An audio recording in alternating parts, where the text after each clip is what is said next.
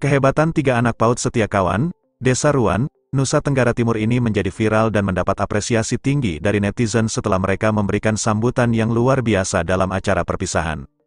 Meskipun masih berusia sangat muda, dua siswa laki-laki dan satu siswi perempuan kelas B PAUD tersebut mampu menyampaikan sambutan secara bergantian dengan begitu lancar dan fasih. Keistimewaan mereka bahkan terlihat dari ketidaksanggahan mereka dalam menggunakan kertas tulisan pembantu saat memberikan sambutan.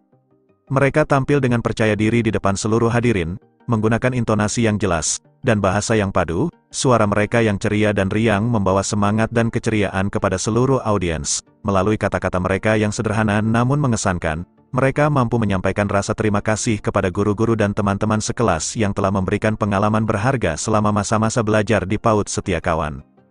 Keahlian berbicara di depan umum yang dimiliki oleh ketiga anak ini patut diapresiasi, karena hal ini tidaklah mudah bagi anak-anak seusia mereka, mereka telah menunjukkan dedikasi dan kerja keras yang luar biasa dalam mempersiapkan sambutan tersebut. Kemampuan untuk mengingat dan menyampaikan isi sambutan tanpa bantuan kertas tulisan pembantu menunjukkan tingkat kecerdasan dan keberanian mereka.